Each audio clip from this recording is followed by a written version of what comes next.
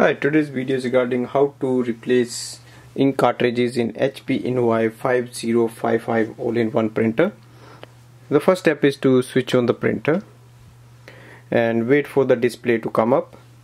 Now the second step is to open this part of the printer so that we can replace the cartridges and wait for the cartridges to move in this side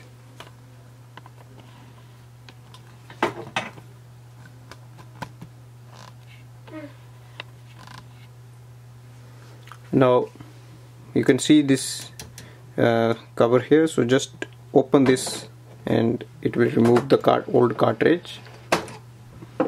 And same for the black one. And now we can insert the now we can insert these new cartridges.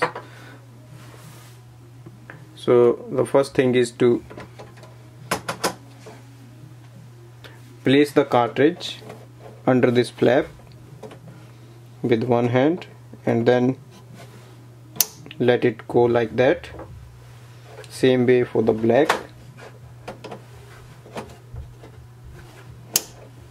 And now close the lid.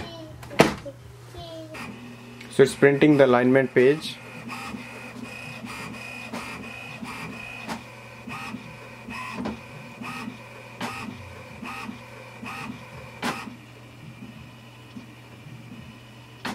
and we place this sheet facing downwards and cornering on the right hand side.